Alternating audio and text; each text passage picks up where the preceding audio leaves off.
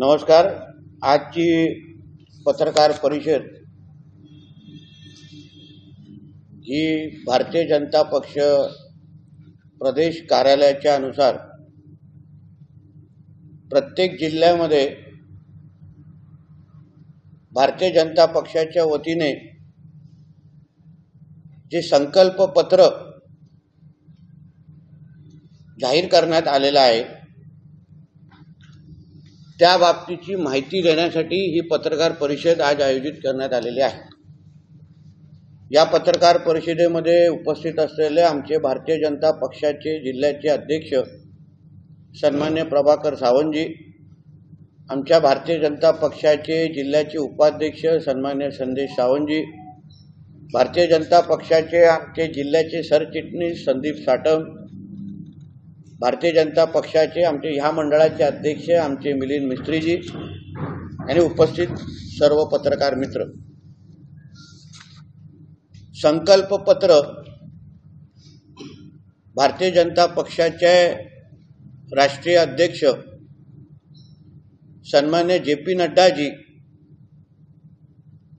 यांच्या अध्यक्षखाली आणि देशाचे यशस्वी पंतप्रधान सन्मान्य मोदीजींच्या उपस्थितीमध्ये जाहीर करण्यात आलं. साधारण आतापर्यंत आपल्या स्वातंत्र्यापासून देशामध्ये एक अशी प्रथा आहे की काँग्रेसनी जेवढे जाहीरनामा जाहीर केलेले होते निवडणुका आल्या तर जनतेला एक सवय झाली होती की राजकीय पक्षाच्या माध्यमातून जे काही जाहीरनामे जाहीर होतात ते फक्त एका कागदाचा तुकडा असतात. कारण का त्या जाहीरनाम्यामध्ये ज्या ज्या आश्वासनं दिली असतात आम्ही पुढच्या पाच वर्षामध्ये या या गोष्टी करणार आहोत हे जे सांगितलं असतं ते काँग्रेसच्या त्या कुठल्याही कार्यकाळामध्ये पूर्ण केलेल्या नव्हत्या. ह्याच्यामुळे जनतेला संकल्पपत्र जाहीरनामे या शब्दांवर विश्वास राहिलेला नाही. पण दोन हजार चौदा आणि दोन हजार एकोणीस मोदीजींच्या ह्या दहा वर्षाच्या कार्यकाळामध्ये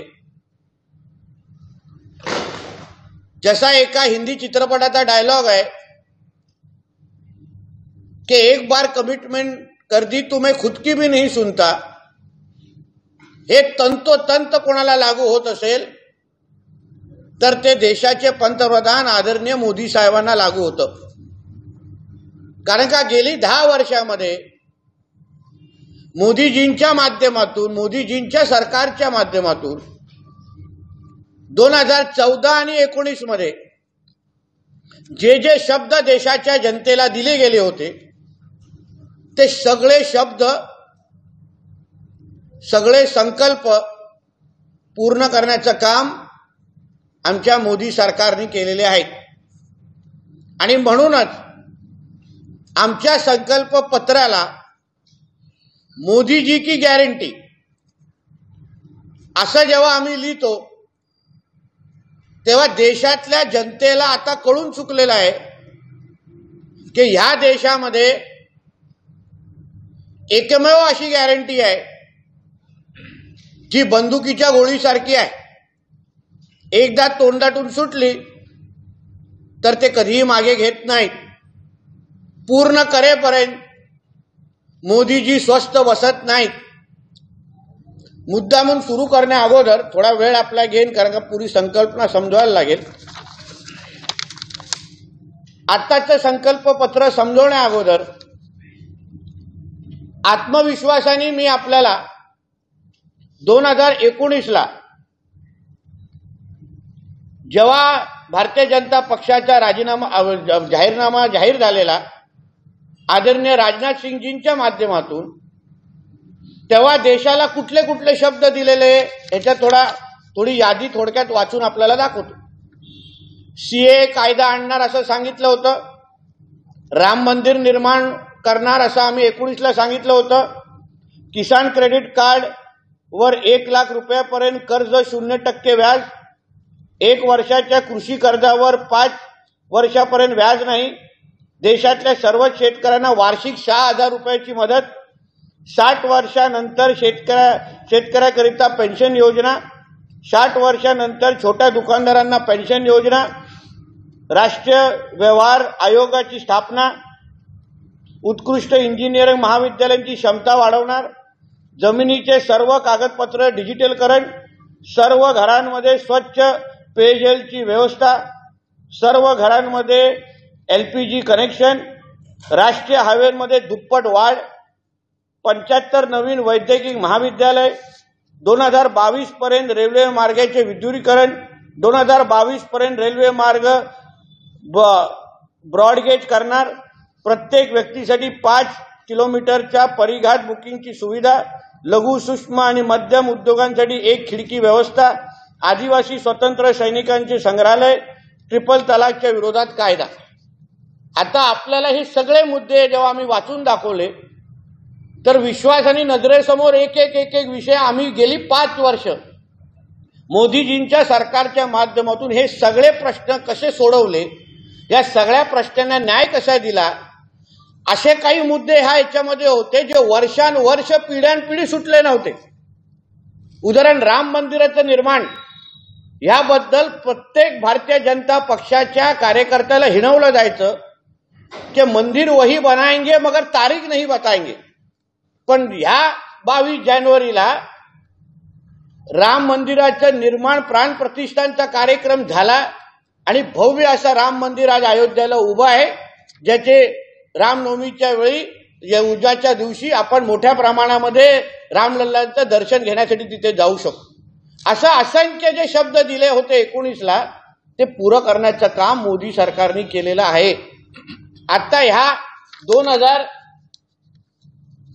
आता ह्या दोन हजार चोवीसच्या ह्या संकल्पपत्रामध्ये एकंदरीत भारताला जसं मोदीजी म्हणतात की आपल्या भारताला पहिल्या तीन क्रमांकाच्या अर्थव्यवस्था हे पुढच्या पाच वर्षामध्ये बनवणार आहेत. आणि दोन हजार सत्तेचाळीसमध्ये आपला भारत देश हा विकसित भारत देश म्हणून ओळखला जाईल. त्या दृष्टिकोनातून हा पूर्ण राजमार्ग आखलेला आहे. त्या पद्धतीची संकल्प तयार केलेले आहेत. त्या दिशेने चालण्याचं काम आमच्या पुढचं पाच वर्षाचं मोदी सरकार करणार आहे. आणि त्या दृष्टिकोनातून सगळ्या प्रत्येक वर्गाला मग तरुण वर्ग तरुण असतील महिला असतील कामगार असतील सगळ्या प्रत्येक वर्गाला न्याय देण्याचं काम या पुढच्या पाच वर्षामध्ये आम्ही कसं करणार आहोत हेच या संकल्पपत्रामध्ये त्या निमित्ताने उल्लेख केलेला आहे.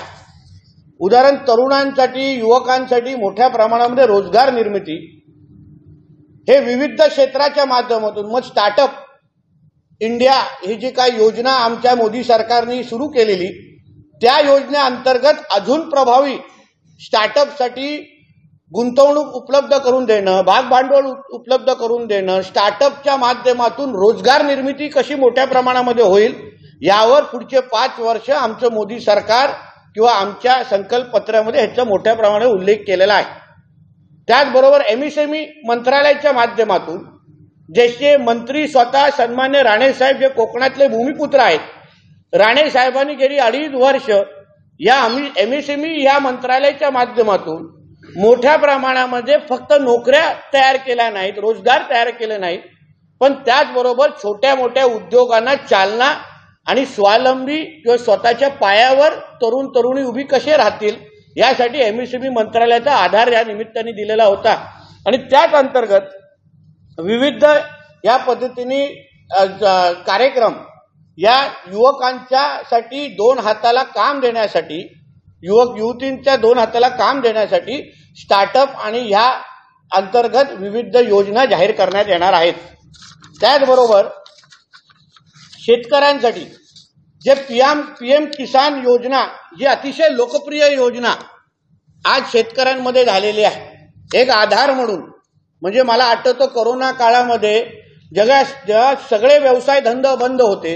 आपला पिकवलेला माल बाहेरच जाण्याचा बंद झाला होता कारण का तसे नियम करोनाचे होते. जेव्हा एकही रुपया घरा घरी कसा आणायचा हा विचार आमच्या ग्रामीण भागातला शेतकरी करायचा. त्यावेळी मोदीजींनी पाठवलेले सहा हजार म्हणजे दोन दोन हजारचे टप्पे हा त्यांच्या आयुष्यामध्ये म्हणजे अंधारात दिवा लावण्याचं काम हे आदरणीय मोदीजींच्या ह्या पीएम किसान योजनेच्या माध्यमातून जे झालेलं तीच योजना पुढची पाच वर्ष अजून प्रभावी पद्धतीने राबवण्याचं काम आम्ही आमच्या माध्यमातून करणार आहोत. भाज्या उत्पादन व साठवणी करत येतानासाठी नवीन क्लस्टर्स आम्ही मोठ्या प्रमाणामध्ये तयार करणार आहोत. अन्न भरड धान्य विश्व सुपरफूड म्हणून स्थापन करणार आहोत. संशोधन जागरूकता यांनाही चालना देणार आहोत. सिंचन सुविधांचा विस्तार करणार आहोत. त्यासाठी मोठ्या प्रमाणामध्ये या क्षेत्रामध्ये गुंतवणूक करणार आहे कीटकनाशांचा वापर सिंचन वृद्ध आरोग्य हवामानाचा अंदाज आदी कृषी विषयक सेवाकरिता स्वदेशी भारत कृषी उपग्रह सोडणार. म्हणजे एकंदरीत मेक इन इंडियाच्या अंतर्गत आपण आपल्या भारताला ह्या क्षेत्रामध्येही स्वावलंबी बनवण्याच्या दृष्टिकोनातून पुढचे पाच वर्ष आमचं सरकार काम करेल असा उल्लेख या संकल्पपत्रामध्ये केलेला आहे. महिलांसाठी आपल्याला माहिती आहे की आपला हा लोक लोकसभा मतदारसंघ रत्नागिरी सिंधुदुर्ग उदाहरण म्हणून तुम्हाला सांगतो. इथे बासष्ट टक्के महिलांची लोकसंख्या आहे. महिला मतदार इथे जास्त आहे.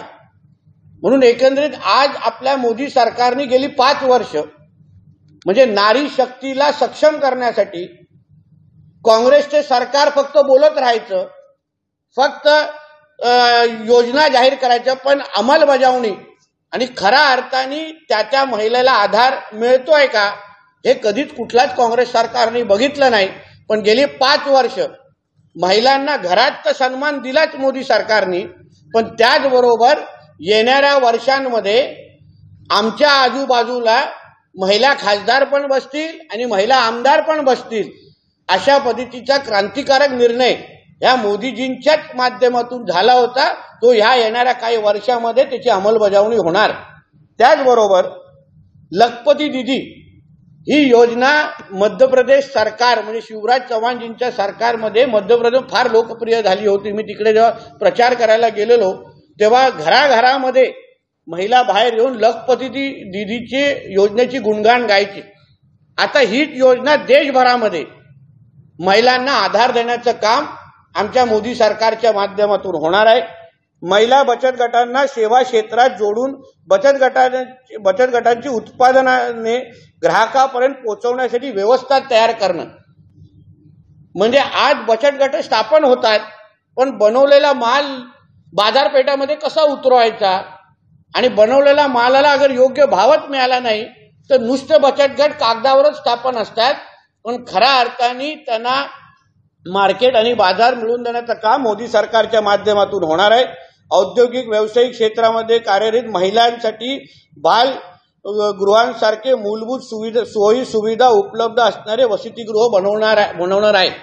म्हणजे गेल्या पाच दहा वर्षामध्ये विविध ज्या गॅस संदर्भात योजना असेल अन्न संदर्भात अन्नपूर्णा योजना उज्ज्वला गॅस योजना आता ह्याचा पुढचा टप्पा म्हणून या सगळ्या महत्त्वाच्या योजना जाहीर होणार आहेत. क्रीडा क्षेत्रामध्ये महिलांचा सहभाग सहभाग वाढवण्यासाठी प्रयत्न करणार महिलांकरिता सार्वज सार्वजनिक शौचालय बनवणार तसेच त्यांच्या देखभालीची पण व्यवस्था करण्याची आम्ही या संकल्पपत्रामध्ये उल्लेख केलेला आहे. पोलीस ठाण्यात शक्ती डेस्क म्हणजे प्रत्येक पोलीस स्टेशनमध्ये महिलांची तक्रारी घेण्यासाठी शक्ती डेस्क म्हणून प्रत्येक पोलीस स्टेशनमध्ये आपल्याला आता ह्यापुढे उपलब्ध होणार आहे. जेणेकरून महिलांना पोलीस स्टेशनमध्ये गेल्यानंतर स्वतःच्या हक्काचा एक यंत्रणा पोलीस स्टेशनमध्ये उपलब्ध राहणार आहे. जेणेकरून त्यांच्या सुरक्षिते बाबतीमध्ये कुठलीही तक्रार त्यांची राहणार नाही. आपल्यासाठी निगडीत असलेले महत्वाचं म्हणजे रेल्वे हे आपल्या कोकण कोकणासाठी अतिशय महत्वाची बाब आहे जे गेली पाच दहा वर्षामध्ये मोदी सरकारच्या माध्यमातून वंदे भारत असो विविध नवीन ट्रॅक असो असे सगळे सुविधा आपल्याला कोकणासाठी रेल्वेच्या माध्यमातून सुरू केलेल्या आहेत. या पुढच्या पाच वर्षामध्ये पण नवीन रेल्वे मार्गाची निर्मिती प्रवासी मालवाहन क्षमता वाढवण्याकरिता रेल्वेचे जाळे वाढवणार बुलेट ट्रेनचे जाळे वाढवणार तिकीट वेटिंग लिस्ट कमी करण्यासाठी वचनबद्धता कवच कवच ट्रेन सुरक्षा यंत्रणेचा विस्तार आंतरराष्ट्रीय दर्जेचे रेल्वे स्थानक बनवणार. ह्याचा खरा अर्थाने श्रेय जसं तुम्ही कणकोलीमध्ये बघता ओरसमध्ये बघता सन्मान्य रवी चव्हाण साहेब आमचे पालकमंत्री ह्यांनी याच ह्याचा धागा धरून आज एअरपोर्टमध्ये आपण चालत असं उभे आहोत अशा पद्धतीचा अनुभव रेल्वे स्टेशनमध्ये पण मिळावा. या दृष्टिकोनातून हे रेल्वे स्टेशन आपल्या जिल्ह्यामध्ये तयार होत असताना आपल्याला दिसतात आहे. लवकरच त्यांचं उद्घाटन होऊन लोकांना एक वेगळा अनुभव रेल्वे स्टेशनमध्ये मिळून दे देण्याची दृष्टिकोनातून आमची वाटचाल सुरू आहे. मेट्रो जाळ्याचा विस्तार करणं हे सगळे विषय या रेल्वेच्या दृष्टिकोनातून आम्ही करणार आहोत. आता जसं राम मंदिराचा निर्माणाचा प्रतिष्ठानाचा कार्यक्रम झाला त्याच पद्धतीने आपल्या कोकणामध्ये असणारे धार्मिक स्थळं जसं मी वारंवार जसा उल्लेख करतो आपल्याकडे कुणकेश्वर असो रामेश्वर असो असे अजून एक दोन महत्त्वाच्या धार्मिक स्थळांचं जे सुशोभीकरण आहे जो विकास आहे तो काशी विश्वनाथच्या धर्तीवर महाकालेश्वराच्या धर्तीवरच आपल्या इथे करण्याच्या दृष्टिकोनातून प्रसाद नावाची जी काही एक योजना आहे त्या अंतर्गत अजून मोठ्या प्रमाणामध्ये पैसा उपलब्ध करून ते ते धार्मिक स्थळं मोठ्या प्रमाणामध्ये वि- विकास करण्याचं नियोजन आमच्या या निमित्ताने आहे. समृद्ध सांस्कृतिक वारसा निर्माण करण्याकरिता पुरातत्व खात्याच्या अखत्यारीतील एएसआय स्मारकांचे जीर्णोद्धार व संरक्षण करणार. हे आपल्यासाठी महत्वाचं काय आहे? कारण का आपल्या इकडे जे पुरातत्व खात्यासंदर्भात आपल्या सगळ्या लोकांच्या तक्रारी असतात. जेव्हा आपण विजयदुर्गबद्दल आम्ही तक्रार घेऊन गेलो तर खूप महिने लागतात. सिंधुदुर्ग किल्ल्याबद्दल गेलो तर खूप तर त्याही डिपार्टमेंटचा विस्तार आणि योग्य पद्धतीने ताकद देण्याचं काम मोदी सरकारच्या माध्यमातून होणार आहे. पर्यटन स्थळाचं व्यापक आता हे आपल्यासाठी काय? कारण आपला पर्यटन जिल्हा आहे. पर्यटन स्थळाचा व्यापक विकास करिता स्वदेश दर्शन कार्यक्रम सुरू करण्यात आलेला आहे. या कार्यक्रमाचा बळ देण्यासाठी राज्य सरकार सोबत काम करणार. महत्त्वाचे संत व तंत्रज्ञानाचं जीवन यात्रांना या कार्यक्रमात सम्मिलित करणार. पर्यटकांसाठी थीमटिक सर्किट तयार करणार. थीमटिक आता हे वेगळा शब्द आहे. लक्षद्वीप व अंदमान व निकोबार बेट्यांवर द्वीप पर्यटन केंद्र सुरू करणार. त्या धर्तीवर कोकणातले पण काही आपण स्पॉट आयडेंटिफाय करणार आहोत. पुढचा म्हणजे जो मोदी सरकारच्या गेली दहा वर्षामध्ये सर्वात महत्त्वाचा निर्णय म्हणजे भ्रष्टाचार विरोधी लढाई. काँग्रेस सरकारची ओळख दोन हजार चौदा पर्यंत आपल्या सगळ्या जणांना माहिती आहे की आपला देश हा एक भ्रष्टाचारी देश आहे अशी एक ओळख. जगामध्ये काँग्रेसच्या त्या युपीएच्या वन एक आणि दोन मुळे सगळीकडे गेलेला आहोत म्हणजे अण्णा हजारांचं आंदोलन असो किंवा अण्णा मोठ्यातले मोठे टू जी विजी कॉमनवेल्थ सारखे स्कॅम असो या सगळ्या बाबतीमध्ये मोठ्या प्रमाणामध्ये भ्रष्टाचार हा आपल्याला दिसून आलेला. पण गेल्या दहा वर्षामध्ये आमच्या विरोधकांनी कितीही टीका केली तरी ईडी सीबीआय इन्कम टॅक्सचा आपण गैरवापर करतो असं किती बोललो तरी ज्या ज्या केसेस ईडी आणि सीबीआयच्या माध्यमातून सुरू करण्यात आलेल्या आहेत त्या त्या केसेस योग्य आहेत किंवा ही तपासाची यंत्रणा किंवा दिशा योग्य आहे ह्याच्यावर शिक्कामोर्तब हायकोर्ट आणि सुप्रीम कोर्टमध्ये आतापर्यंत केलेलं आहे. उत्तम उदाहरण म्हणजे अजय अरविंद केजरीवालांची केस. म्हणजे आतापर्यंत भ्रष्टाचार विरोधीची विरोधातली सर्वात मोठी लढाई कोणी लढली असेल तर त्या मोदी सरकारने गेल्या दहा वर्षामध्ये लढलेली आहे.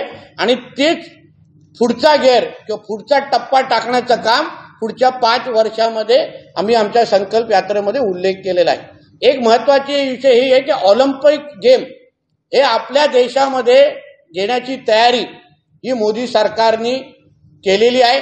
त्या दृष्टिकोनातून ह्याचा उल्लेख पण संकल्पपत्रामध्ये केलेला आहे. तुम्हाला आठवत असेल की कॉमनवेल्थ गेमच्या निमित्ताने आलेला आपल्याला एक कडू अनुभव जो आपण देश कधीच विसरणार नाही. पण आता ऑलिम्पिक गेम मोदी सरकार मोदी साहेबांच्या या सरकारच्या अंतर्गत तुम्ही कुठल्याही खेळाडूला जाऊन विचाराल त्यांना मिळालेल्या सुविधा त्यांना मिळालेलं मानधन कुठल्याही देशामध्ये जेव्हा ते जातात तेव्हा त्यांना जे काही न- सुविधा उपलब्ध केल्या जातात जो मान मिळतो तो कधीच काँग्रेसच्या सरकारमध्ये मिळालेला नव्हता. डिजिटल भारतीय डिजिटल पब्लिक इन्फ्रास्ट्रक्चर जगभरामध्ये त्याचा विस्तार करणार समान नागरी कायदा याचाही उल्लेख आमच्या या संकल्पत्रामध्ये केलेला आहे. त्याचबरोबर जाहीर योग आणि आयुर्वेदाच्या जगभर प्रसार याचाही उल्लेख याच्यात केलेला आहे. भारतातून अवैध पद्धतीने बाहेर नेलेल्या भारतीय मूर्ती व कलाकृती परत आणल्या जाणार.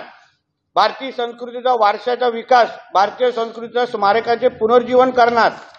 अशा पद्धतीचं आपल्या देशाला येणाऱ्या कालावधीमध्ये महासत्ता म्हणजे आपला भारत देश आज जगामध्ये कुठलाही तुम्ही जगाच्या कानकोपऱ्यात जाल तर भारताकडे बघण्याचा एक दृष्टिकोन पूर्ण पद्धतीने बदललेला आहे. आज भारत देश हा एक विकसित देश म्हणून ज्या देशाचे पंतप्रधान एवढे मजबूत आहेत की आज कोणीही आपल्या भारताकडे वाकड्या नजरेची हिंमत पण करू शकत नाही. हिंमत तर लांबचे गोष्ट विचार पण करू शकत नाही. अरविंद केजरीवालजींच्या अटकेच्या निमित्ताने जेव्हा बाहेरच्या देशामध्ये त्यांच्या वृत्तपत्रामध्ये काही आर्टिकल लिहून आलेले तेव्हा तेव्हा त्यांच्या अँबॅसेडरांना बोलून तंबी देण्याचं काम आमच्या सरकारने केलेलं ही हिंमत कधीच पहिले काँग्रेसच्या सरकारमध्ये व्हायची नाही.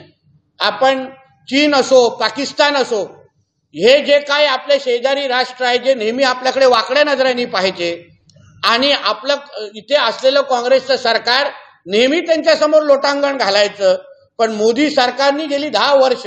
आदरणीय अमित शहाजी असतील आमचे मोदी साहेब असतील ह्यांच्या नेतृत्वात असलेलं हे जे काय मोदी सरकार आहे त्यांनी पाकिस्तान चीनला आपली जागा वारंवार दाखवण्याचं काम ह्या निमित्ताने केलेलं आहे. आज जम्मू काश्मीरमध्ये जाऊन परिस्थिती बघा. तिथे परिस्थिती तिथे पर्यटनाच्या अंतर्गत एवढे मोठे प्रकल्प सुरू आहेत की कोण विचार पण करू शकणार नाही की आपण काश्मीरमध्ये आज उभे आहोत. त्याच पद्धतीने आपल्या देशाकडे होणाऱ्या अतिरेकी कारवाया कारवाया.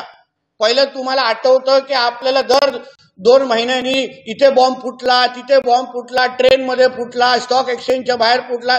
काँग्रेसचं सरकार आणि अतिरेकी कारवाया हे असं एक समीकरणच झालेलं. कोणी यायचं कोणी कुठे बॅग ठेवून जायचं कोणी यायचं कोणी कुठे बॉम्ब ते ठेवून जायचं आणि आपण भारतीय नागरिक म्हणून नेहमी भीतीच्या वातावरणामध्ये बसायचो राहायचो. पण ह्या गेल्या दहा वर्षामध्ये देशाचे यशस्वी गृहमंत्री म्हणून अमित शहाजींच्या माध्यमातून जेव्हा तीनशे सत्तर कायदाच्या वेळी आपण आठवत असाल देशामध्ये एक टाचणी पण टाकण्याची हिंमत कोणाची झाली नाही. तसंच या पुढच्या पाच वर्षामध्ये आपण एका बाजूला विकसित भारत म्हणून आपण जेव्हा आपली वाटचाल सुरू ठेवतो आहोत त्याचबरोबर एक सुरक्षित भारत ज्या भारतामध्ये सगळे सुरक्षित आहेत स्वावलंबी आहेत कोणीही आमच्याकडे वाकड्या नजरेने बघू शकत नाही कोणीही आमच्या झेंड्याकडे वाकड्या नजरेने पाहू शकत नाही कोणीही कोणावर अन्याय करू शकत नाही. हे जे काय आमच्या सरकारचं जे व्यक्तिमहत्व आणि मानसिकता जी तयार झालेली आहे मोदीजींच्या नेतृत्वाखाली त्याच पद्धतीचा प्रवास ह्या पुढच्या पाच वर्षामध्ये पण आम्ही करणार आहोत. हेच आमच्या संकल्प पत्रामध्ये उल्लेख केलेला आहे. आणि जसं मी सुरुवातीला सांगितलं आम्ही दिलेले शब्द पाळणारे लोक आहोत. एक बार कमिटमेंट किया तो हम सुनते नाही। ह्या पद्धतीने पुढची पाच वर्ष जे जे शब्द आमच्या संकल्प पत्रेमध्ये दिलेले आहेत ते ते आमच्या आदरणीय मोदीजींच्या नेतृत्वाखाली असलेल्या सरकार निश्चित पद्धतीने पूर्ण करेल एवढा आश्वासन आणि विश्वास आणि शब्द मी देशाच्या आणि सिंधुदुर्गाच्या जनतेला या निमित्ताने देतो. इथेच थांबतो. धन्यवाद.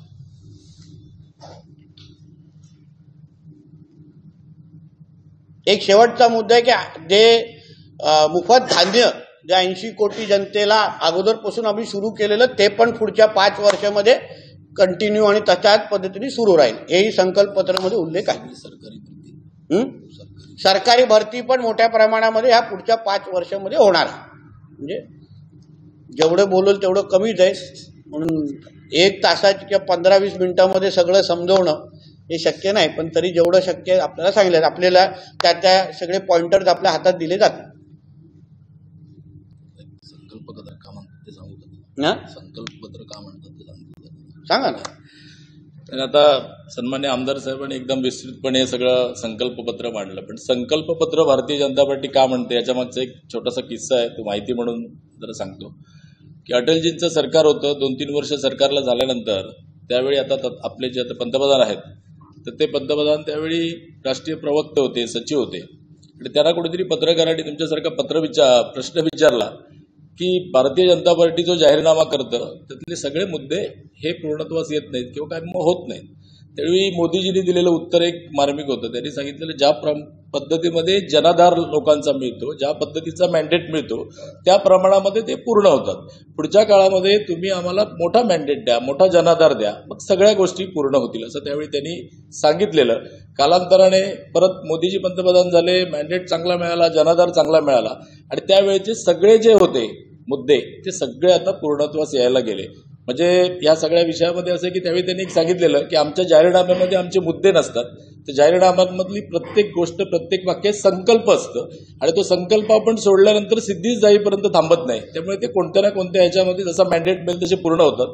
आणि तुम्हाला सगळ्यांना अनुभव आहे की गेल्या दोन वर्षाच्या या दशकाच्या कालावधीमध्ये सगळे संकल्प त्यावेळेच्या जे ऐंशी सालापासूनचे आपण कधी कधी म्हणत आलो ते सगळे पूर्ण झाले. दोन हजार एकोणीसला पंच्याहत्तर वचनं आम्ही दिलेली होती पंच्याहत्तर संकल्प केलेले होते. ते पंच्याहत्तरच्या पंच्याहत्तर संकल्प जसं आता साहेबांनी सांगितलं त्याप्रमाणे पूर्ण झाले. तर म्हणून आपण त्याला आता जाहीरनामा न म्हणता संकल्पपत्र म्हणतो. एवढंच तुमच्या माहितीसाठी सांगायचं. धन्यवाद.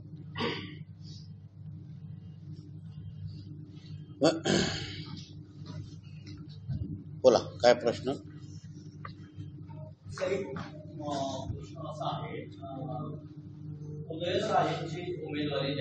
अरे संकल्पपत्र. पत्र मा- मान्य आहे. उमेदवारी जाहीर झाली परंतु अद्याप नारायण उमेदवारी जाहीर झाली तुमच्या सगळ्या प्रश्नांची उत्तर आज किंवा उद्या तुम्हाला भेटतील.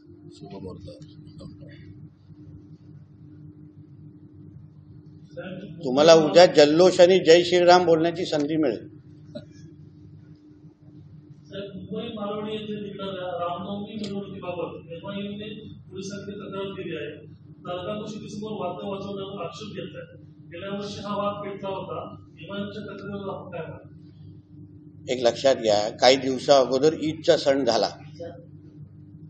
तेव्हा देशभरामध्ये एकतरी घटना किंवा हिंदू समाजाच्या माध्यमातून कुठलाही घेतलेला आक्षेप किंवा कुठलंही अशा पद्धतीचं आव्हान किंवा नियम कायदे असंच करा तसंच करा असे एक तरी घटना किंवा एक तरी उदाहरण मला दाखवा.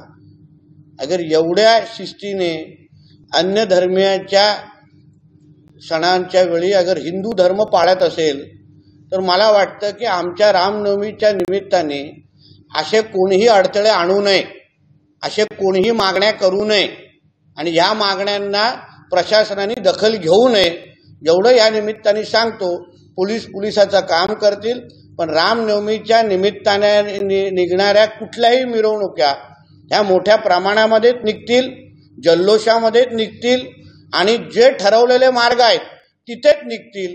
जो नियम अन्य सणासुदीच्या वेळे लागतो अन्य धर्मांच्या तोच नियम हिंदू समाजाच्या वेळेत पण लागावा आणि तो अन्य धर्मियांनी पण पाळावा एवढं आव्हान या निमित्ताने मी करेन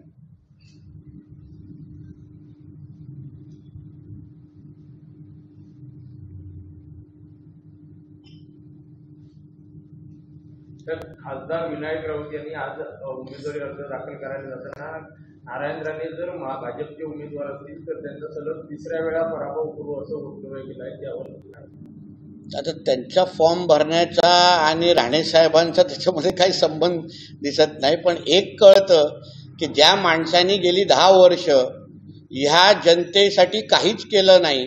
दहा वर्षामध्ये किमान सहा ते सात वर्ष ते सत्ताधारी खासदार होते. म्हणजे दोन हजार चौदा ते एकोणीसमध्ये शिवसेना बीजेपीच्या सरकारमध्ये केंद्रामध्ये त्यांचे अरविंद सावंत नावाचे केंद्रीय मंत्री होते. मग अडीच वर्ष त्यांच्या विचाराचा मुख्यमंत्री उद्धव ठाकरे होते. म्हणजे दहा वर्षामध्ये सहा वर्ष जो खासदार निष्क्रिय राहिलेला आहे त्याला जनताच आता चार जूनला चोख उत्तर देणार आहे. म्हणून पराभव कोणाचा होतो? वकुलाचे तिकीट ट्रेन तिकीट कोणाचं निघतं? हे चार तारखेला ह्याचं उत्तर भेटेल. केंद्रीय मंत्री नारायण राणे यांची उमेदवारी जाहीर न होण्यामागे भाजपमधल्या अदृश्य शक्तींचा हात असल्याचा आरोप आमदार वैभव नाही केले नो कमेंट्स बाकी? अयोध्येत राम मंदिर झालंय. पण त्याचबरोबर त्या ठिकाणी अद्यावत अशी मस्जिद पण उभारण्याचा संकल्प सरकारने केलेला आहे. तो या येणार पाच वर्षापूर्वी. आमचं मोदी सरकार सबका विकास सबका साथ. सबका साथ सबका विकास. या दृष्टिकोनातून चालणं गेले दहा वर्ष चालत आहे म्हणजे प्रत्येक धर्मियांना न्याय देण्याचं काम मोदी सरकारच्या माध्यमातून झालेलं आहे. आणि त्या दृष्टिकोनातून घेतलेला हा निर्णय आहे आणि त्या दिशेने आम्ही वाटचाल करतो. संजय असं म्हणतायत की भ्रष्टाचारासंदर्भात मोदींनी केलेल्या घोषणा त्या आणि खोट्या आहेत. इलेक्ट्रॉन इलेक्ट्रॉन बॉन्डमुळे निवडणूक माध्यमातून भाजपने केलेला घोटाळा भयंकर आहे. ज्या संजय राजाराम राऊतचं स्वतःचं कुटुंब हे खिचडी मधच्या घोटाळ्यामध्ये बरबटलेलं आहे हा ह्याचा छोटा भाऊ ह्याची मुलगी ह्यांच्या सगळ्याच्या सगळ्या चौकशा आज ईडीच्या माध्यमातून खिचडी घोटाळ्याच्या निमित्ताने होत आहेत. हा स्वतः पत्राचारच्या घोटाळ्यामध्ये शंभर दिवस जेलमध्ये राहून आलेला आहे. हा आणि ह्याचा मालक हा कोविडच्या घोटाळ्यामध्ये ह्यांचे सगळ्यांची नावं आहेत. त्यांनी दुसऱ्यांवर भ्रष्टाचाराचे आरोप घालणं म्हणजे उर्फी जावेदने दुसऱ्यांना साडी घालण्याचं शिकवण्यासारखं आहे. म्हणून संजय राजाराम राऊतला बोलीन पहिलं स्वतःला आरशामध्ये बघून तू भ्रष्टाचार मुक्त झालाय का हे पहिलं बघ आणि मग आमच्याबद्दल थोबाड उघड.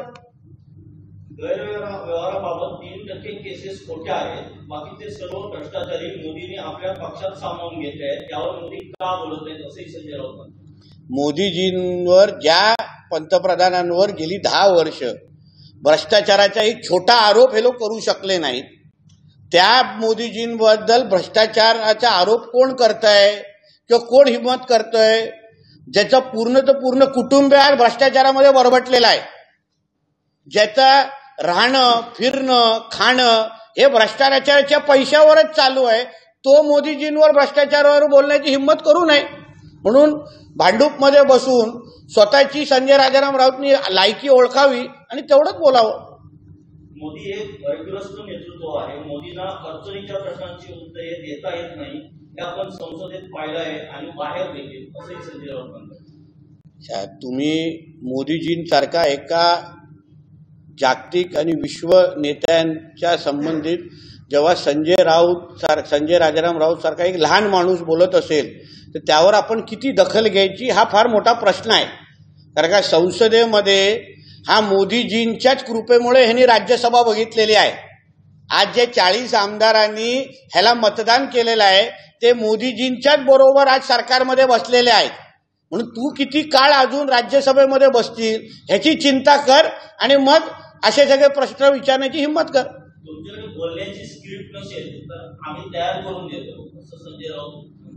तर करून ह्याची स्वतःची स्क्रिप्ट सिल्वर ओक येते. आज आता सकाळची कपडे आणि आंतरवस्त्र पण काय घालायचे हे पण सिल्वर ओकला पहिलं फोन करतो आणि मग घालून बाहेर येतो. म्हणून दुसऱ्यांना स्क्रिप्टची भाषा करू नको. मोदींनी दहा वर्षात एकही जाहीर पत्रकार परिषद घेतली नाही. छप्पन इंचांची त्यांची छाती आहे त्याबद्दल आम्हाला आदर आहे. ही छाती देशाच्या प्रत्येक प्रधानमंत्र्याला मिळव पण त्याचं मोजमाप खरं असावं. मोदीजींनी काय करावं मोदीजींनी गेली दहा वर्षामध्ये काय केलंय ह्याचं सर्टिफिकेट आम्हाला या कॅरेक्टरलेस भ्रष्टाचारी चारशे वीस असणाऱ्या संजय राऊत संजय राजाराम राऊतकडून नको आहे. म्हणून मोदीजी काय आहेत? मोदीजींची छप्पन इंची छाती कशी आहे? ही भारतामध्ये विचारू नका. पाकिस्तानमध्ये जाऊन विचारा. कसं मोदीजींचं नाव घेतल्यानंतर थरथर थर कापतात? हे तुम्हाला तिकडचे अतिरेकी सांगतील. यासाठी भांडूपमध्ये बसून प्रश्न विचारू नका. चुकून काय संकल्पत्रेबद्दल प्रश्न असेल तर विचारू शकता. चुकू ना असं काय असेल तर राहून द्या काय विषय महेश चुकून काय असेल तर? हरकत नाही. त्या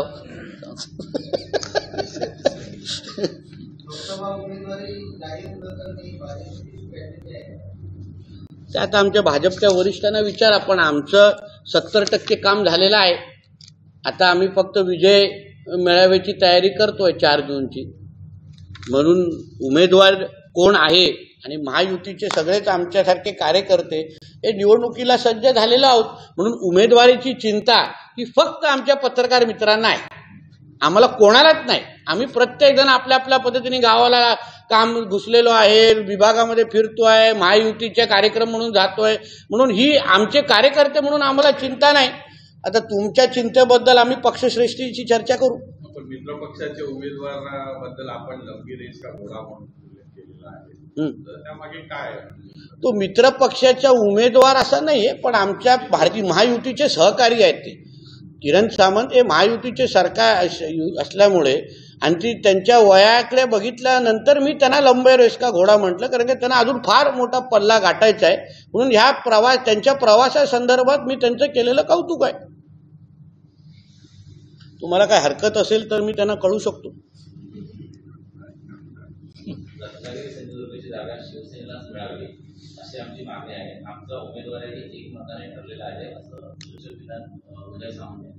बघा मागणी करणं कुठेही चूक नाही.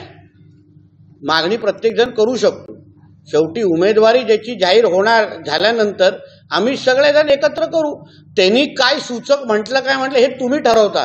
पण उदयजींच्या मनात काय आहे हे तुमच्यापेक्षा मला चांगलं माहिती आहे. केंद्रीय गृहमंत्री अमित शहा चोवीस एप्रिलला रत्नागिरीत येतात त्याची माहिती समोर येत आहे. तर सिंधुदुर्गामधून भाजपचे किती कार्यकर्ते त्या सभेला? बघा काल आमच्या रवी चव्हाण साहेबांनी रत्नागिरीमध्ये पत्रकार परिषदे परिषदेमध्ये गृहमंत्री आणि आमचे सगळ्यांचे नेते आदरणीय अमित शहा साहेब हे रत्नागिरीला चोवीस तारखेला एप्रिलला येत आहेत. किती संख्येने कार्यकर्ते जाण्यापेक्षा आम्ही मोठ्या प्रमाणामध्ये कानकोपऱ्यातून उत्स्फूर्त पद्धतीने लोक त्यांना ऐकण्यासाठी आणि महायुतीच्या उमेदवाराला आम्ही निवडून देऊच असा विश्वास देण्यासाठी आम्ही ताकदीने तिथे पोचणार आहोत. म्हणून संख्या सांगून आम्ही आमची सभा लहान करणार नाही. आणि आजच्या त्या सोळा तारखेला जे फॉर्म भरतात त्यांच्या बचत गट मेळाव्यापेक्षा तर आमचं निश्चित पद्धतीने मोठा असेल. ठीक आहे? मध्यंतरी साहेब महायुतीतील सिंधुदुर्गातील वाद चव्हाट्यावर आलेला भाजपच्या पदाधिकाऱ्यांनी जे स्टेटस ठेवलेलं होतं त्याच्यामुळे महायुतीतील अंतर्गत धुसफूस समोर आलेली त्याबद्दल नेमकी पुढे निर्णय त्या धुसफुसी संदर्भात काय झाला? मला वाटतं सन्मान्य राणे साहेबांनी याच्याबद्दल वक्तव्य केलेलं आहे. आमच्या कुटुंबामध्ये कुठे ना कुठेतरी मोठं कुटुंब आहे. मोठं कुटुंब आणि जॉईंट फॅमिली असल्यामुळे कुठे ना कुठेतरी भांडी वाचतात. पण शेवटी आमचा सगळ्या जणांचा दृष्टिकोन आणि मानसिकता एकच आहे की महायुती म्हणून आम्हाला आमचा खासदार निवडून द्यायचा आहे. म्हणून आमच्या वरिष्ठांनी कान टोचल्यानंतर आम्ही परत एकदा सगळे कामाला लागलेलो आहोत.